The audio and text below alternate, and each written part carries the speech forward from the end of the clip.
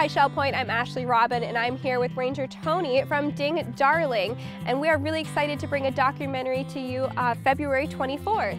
Yes, Queen of the Sun, what are the bees telling us? I know you've all been learning about bees. It's a great documentary about the importance of bees and what you can do to help them.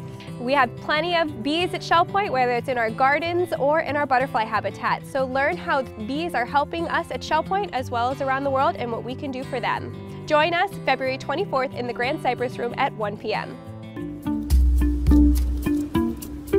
The relationship of bees and flowers is one of the most beautiful co-evolutionary relationships we have. Bees are the legs of plants. Beekeepers, they are chosen by bees. You can brush by mustache. And they like.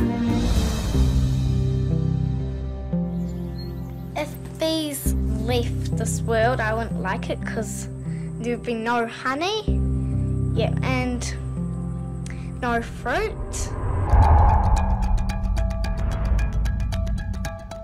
Colony collapse disorder is the bill we are getting for all we have done to the bees. If we didn't have bees to pollinate our crops, we'd have to eat just, just bread and oatmeal, you know, all the time and a couple of nuts. If bees are dying, birds will be dying, plants will be dying. We could call it colony collapse disorder of the human being, too. Steiner's prediction has come true. So many of the problems we face come down to one thing, and that is monoculture. The bees can't even live there, they'll starve to death. From the point of view of nature, it's, it's insane.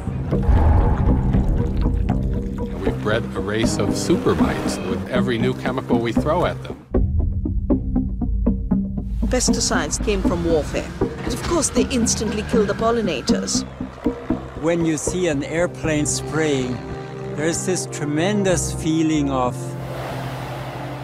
not being able to do anything. I really don't want to lose them. I'm really finding out why I'm beekeeping is to keep that going for my children's children. Our very lives depend on beekeeping. The bees sort of let me know, go ahead, we'll help you. Honeybee sanctuaries are springing up like mushrooms in this country. And they're coming closer.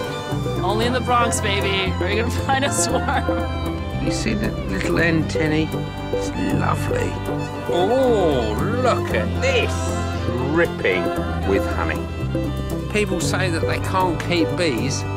They're lying.